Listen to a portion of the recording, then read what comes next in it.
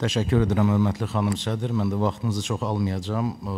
Nəzərə alsaq ki, qarşıdan növbəti bələdiyyə seçkiləri gəlir. Müzakirəmizə təqdim olunmuş qanun layihələrində təklif olunan dəyişikliklər bələdiyyələrə seçiləcək yeni tərkiblərin fəaliyyətinin təkmilləşdirilməsi, şəffaflığın artırılması, sui-istifadə hallarının qarşısının alınması üçün olduqca faydalıdır.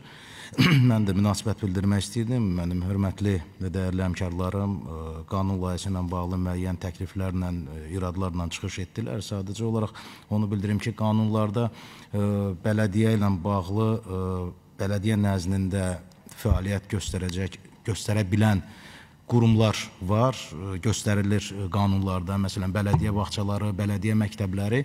Sadəcə olaraq reallıqda problem ondadır ki, bugünkü gündə bələdiyyələr, bələdiyyələrin maliyyə imkanları ona imkan vermir ki, bax bu cür qurumları yarada bilsinlər. Hətta bələdiyyə müəssisələri yaratmaq hüquqları var və mən düşünürəm ki, onların qanundan çıxarılması da biraz hesab edirəm ki, məqsəd uyğun olmazdı. Bir də son məsələ ilə bağlı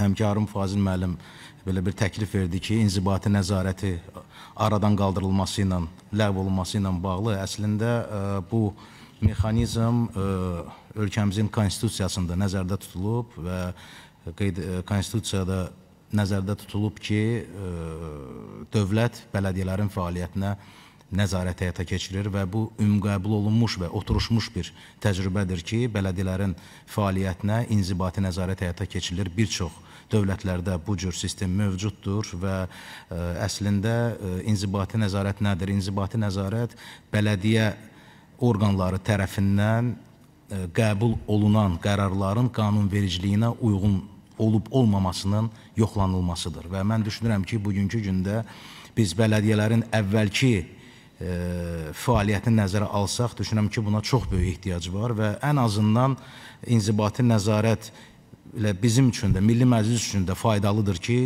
hər il inzibati nəzarəti həyata keçirən orqan gəlir Milli Məclisdə ildə bir dəfə e, bələdiyyələrin fəaliyyəti ilə bağlı, onların durumu ilə bağlı, qəbul etdikləri ə, e, qərarları ilə bağlı qarşımızda məruzə ilə çıxış edil, ə, çıxış edir və mən düşünürəm ki, bu baxımdan da inzibati nəzarətin nəinki ləğv olunması, onun daha da gücləndirilməsi və tənzimlənməsi məqsədəuyğun olardı. Diqqətinizə görə təşəkkür edirəm.